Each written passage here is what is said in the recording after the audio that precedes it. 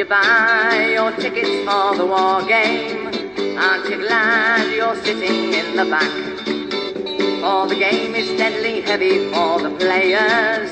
Aren't you glad it's a spectator sport? If you want to play the game, you must have training. Choose your side, pick your toys, but play to win. Don't be sad if you lose, it isn't over. Choose your team and begin the game again.